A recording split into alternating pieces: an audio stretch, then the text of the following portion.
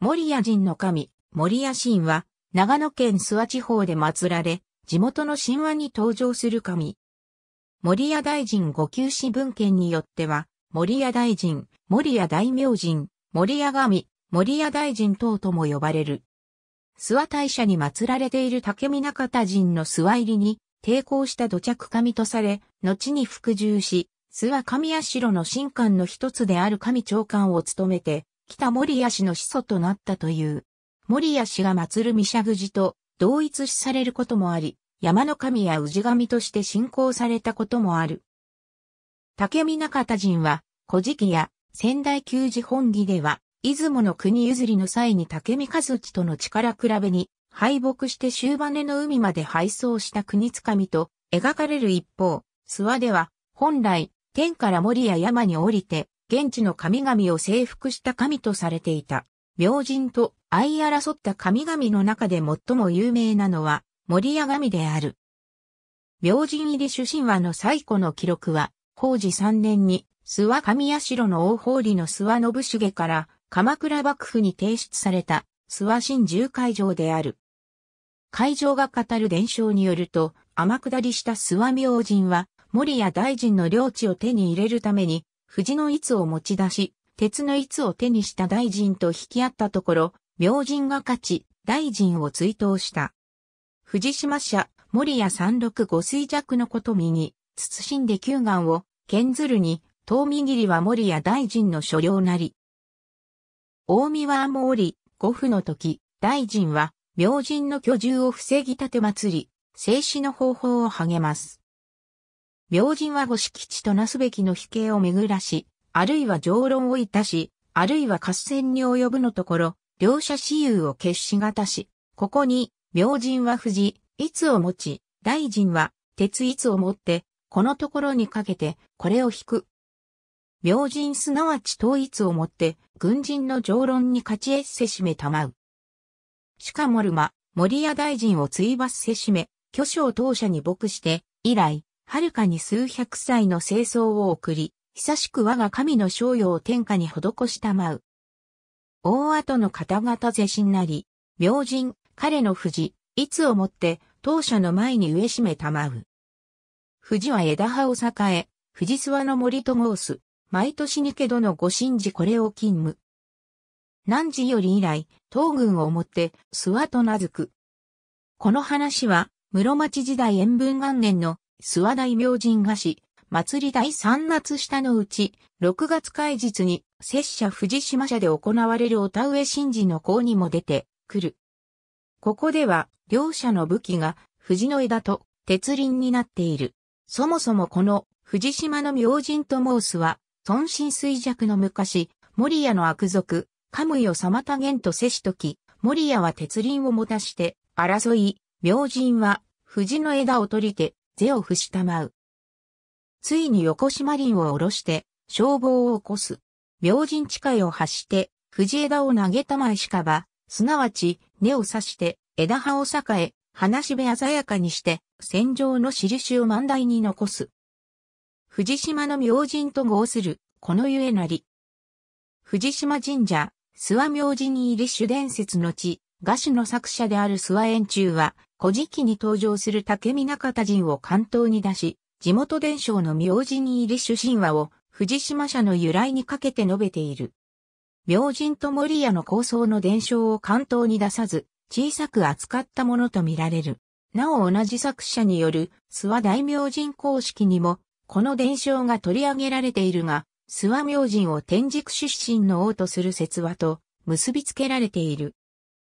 諏訪市の家系図である上市系図と上家系図にも諏訪明神が森屋を追い落とし、森屋山麓に社団を構えたという同系統の伝承が語られている。また、江戸時代に書かれた伝承記録では、森屋大明神と藤島大明神が相争った際に天竜川の両側に立つ藤の木を絡ませたという遺伝も見られる。仙台旧寺本義の国譲り神話を諏訪神社の演技として採用した画師は諏訪でも新刊化で広く読まれ、結果的に、危機神話における竹見中田人の説話が通説となり、地元に伝わる伝承は、影が薄くなった。明治初期に書かれた森谷氏の家系図、上長森谷氏系譜では、竹見方人が、危機神話通りに、出雲から逃亡した神という風に描かれている。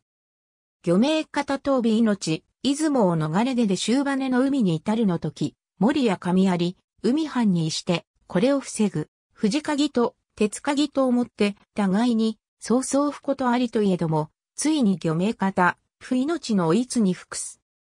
誓いて曰く、地を立て祭りて長く命の再生を司らんと、漁名方とび命、歌して曰く、かご弓のまゆみか、持ち手ぐう、万茂里屋だけ心しか死ぬのあざとれん与えと。彼の藤を刺し、後に反もして、藤諏訪森と曰くふ。現在は、竹見中田人と森谷人の争いの伝承が、危機の国譲り神話とつなぎ合わせられることが多い。森谷神社神仙の舞台、編集、新獣会場では、諏訪明神は、天から森谷山麓に降りたと書かれている。画師の方では、明神の森や山への降臨が語られていないが、入り、主殿時代が上実の通り、神社本宮の近辺にある藤島社の由来譚として述べられている。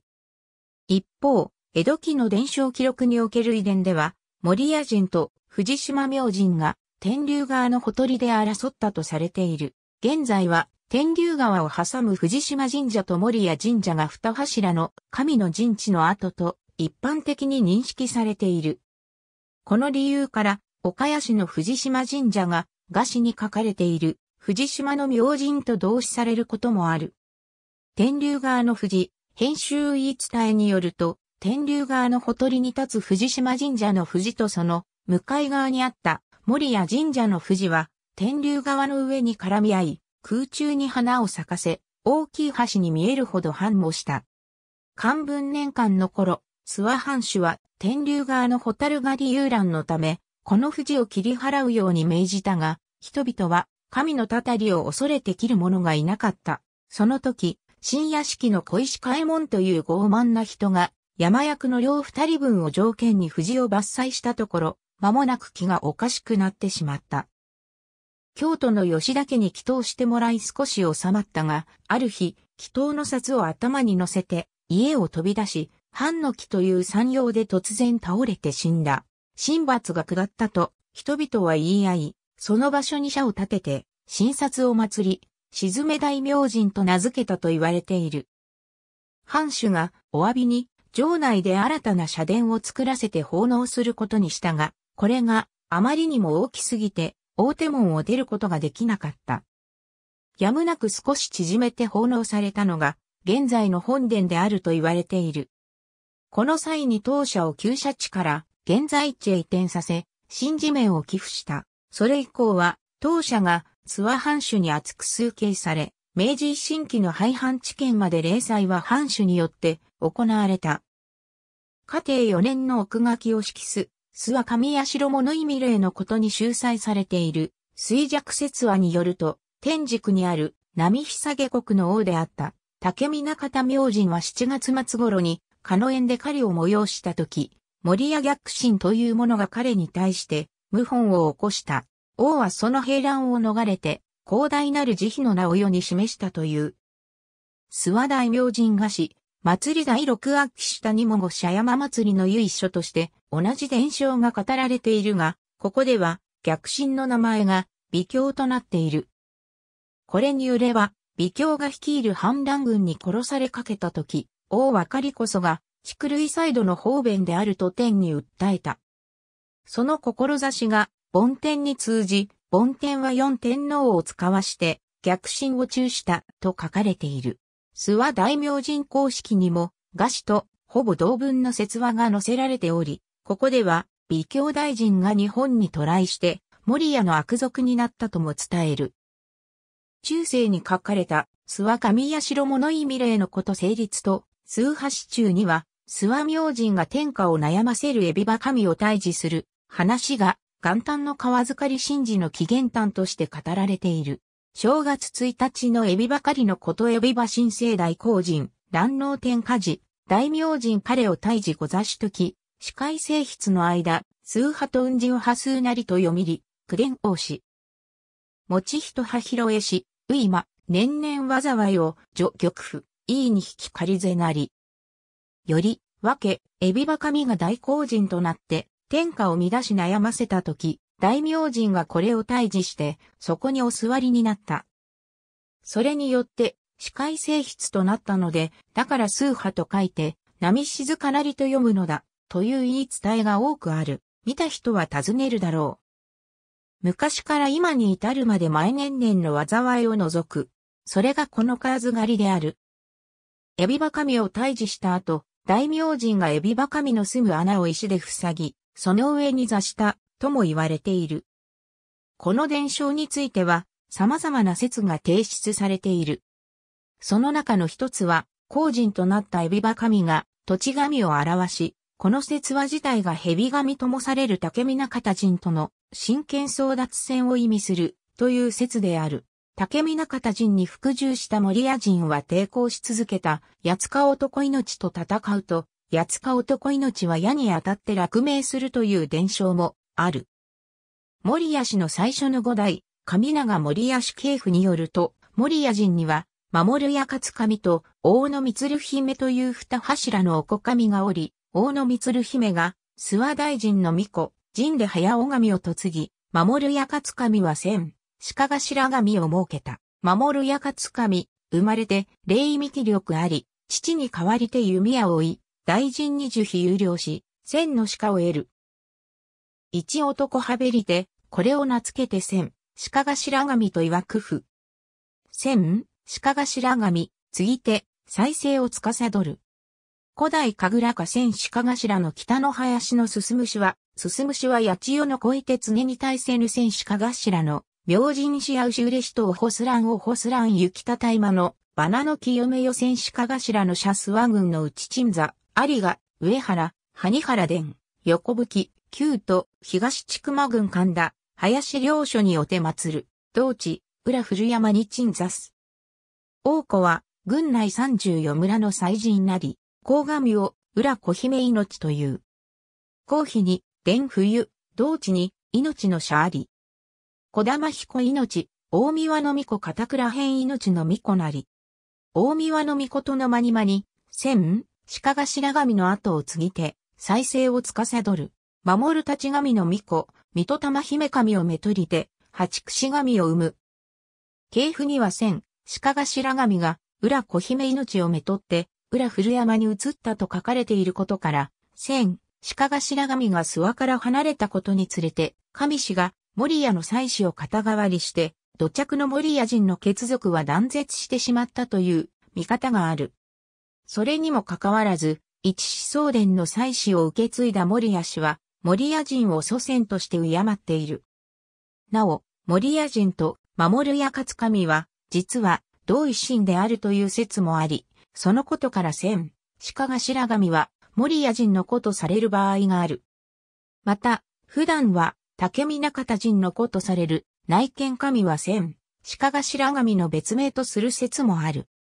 諏訪大社上社前宮諏訪に伝わる入り主神話は、土着の士族が外来侵入勢力に降伏して統治権を異常した出来事に基づいていると考えられている。諏訪神社の神長官を務めてきた森谷氏はかつて、諏訪、神稲を中心とする、未社口再生を統括した士族であったと考えられている。森谷氏が未社口法裁をもっぱらの役とし、諏訪の各合村の未社口進行は森谷氏の手に握られていたと思われる。しかし、森谷氏が諏訪に侵入してきた勢力との派遣争いに敗れた後、祭り政権の交代が行われ、大法理と呼ばれる幼い原人神を中心とする新しい体制が生まれた。この大法理は、諏訪明神のご正体とされ、生き神として信仰の対象となった。この新しい体制の中で、大法理を祀る祭司、神長の位置に置かれた森谷氏は、古来の神ミシャグジを立てて、大法理の即位を執行し、祭事を司った。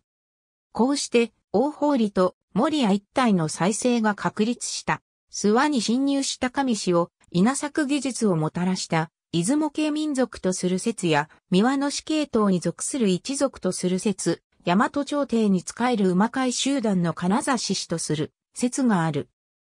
三輪の死系統の説においては、その侵入時期は、諸説あるものの、おおむね顕著な龍者信仰、本殿を持たない神社、神話における出雲や山林との関係性、手話君、新人部などの姿勢を根拠とするものである。馬飼集団の説においては、金指氏が稲郡から天竜川を北上して、諏訪に侵入したのは6世紀後半だとされているが、異論もある。そもそも南進側には、高祖神などを祀る古く規模の大きな神社が存在せず、国像に関する伝承や神社も存在しない。飯田古墳群の成立も5世紀代と遅く、諏訪市との婚姻関係や崇神天皇時代の国像任命とする記事とのずれ、流者信仰を伴う合理的な説明がなされていない。それに対し北進は4世紀代からハニシナコ墳群など機内との関わりが深い前方公園墳が多数築造され、崇神天皇の時代と符合する。また北進には生島足島神社など皇室にゆかりのある古社が存在し、かや大宮社など国像に関する伝説も存在する。なおこの時代には、横穴式石室の古墳が5世紀から6世紀、中頃まで続いた在地型の修工墓にとって変わるが、これは金指氏の影響だと考えられる。また、真珠会場、ご神宝物事に見られる、大明神が আম った時にマスミの鏡、八栄の鈴、東安、靴輪を持ってきたという伝承が、諏訪に横穴石室古墳文化と海馬技術を持ってきた人々の姿を表しているとも解釈されている。森谷氏の祖先神の他に、旧京、原村、花岡村周辺では、産砂神や氏神として数形されたことがあり、森や山に続く西山の方では、山の神として祀るという根強い信仰もあったようである。森や神社では安産死後の神としても祀られており、産婦が底抜けの被釈を奉納し祈願すれば安産ができるとも言われている。薬師如来と集合されたことから、森家家の屋敷の近くや神社本宮の境内には、薬師堂が建てられたという書籍論文、ありがとうございます。